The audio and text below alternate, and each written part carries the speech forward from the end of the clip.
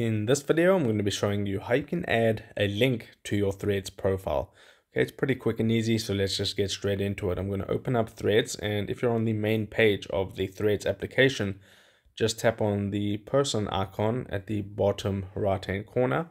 That'll take you to your uh, profile. So you can see right here, there's an actual link in my Threads profile because I imported my bio from Instagram, okay? But if you haven't done that and you want to manually add a link, it's very simple. Just tap on edit profile right here. And then you can see here it says link. Uh, there's the link right there. So tap on link. And this is where you can add your link. So you can either import your link from Instagram or you could simply delete that current link and put a new link. And then you just hit the tick mark at the top right hand corner. That'll be saved. And then if you uh, save that and then go back, to your threads profile. The link will be showing up right over there. As you can see, there's the link. You can tap on the link that will open up the web page for that specific link.